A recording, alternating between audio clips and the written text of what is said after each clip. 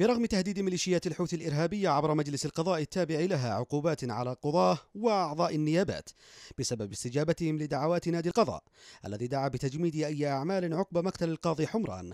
إلا أن المحاكم والنيابات في العاصمة صنعاء تشهد إضرابا واسعا وتجاهلا لكل دعوات الحوثي العقابية بحق القضاء وأعضاء النيابات الذين ما يزالون مصرين على موقفهم الرافض لكافة حملات التشويه المتعمدة لمكانة القضاء ومنتسبيه.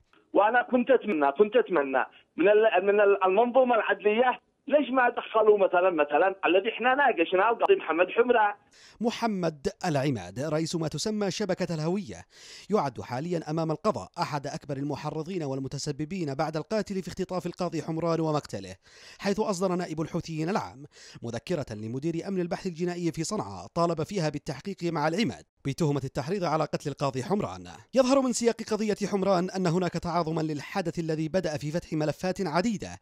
تسبب بها الحوثيون تركزت حاليا في منظومتهم العدلية التي أتت لتطمس كافة معالم استقلالية القضاء بمهام مبهمة.